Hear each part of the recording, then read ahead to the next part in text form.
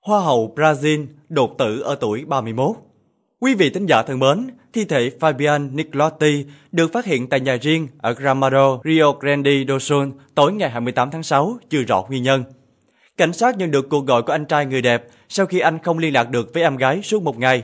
Họ tới nhà Fabian và phát hiện cô đã qua đời. Nguyên nhân cái chết đang được điều tra. Theo G1, Fabian Nicolotti chỉ có một mình khi được phát hiện. Cảnh sát cho biết không có thương tích trên người hay dấu hiệu bạo lực trong căn hộ. Một số nguồn tin nghi ngờ cô tự tử.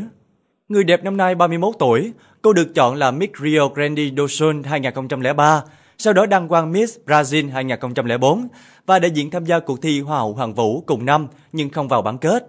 Sau cuộc thi, cô sống vài tháng ở London, Anh để học tiếng Anh. Fabian Nicolotti là người mẫu và quản lý của một cửa hàng thời trang ở Brazil. Yeah.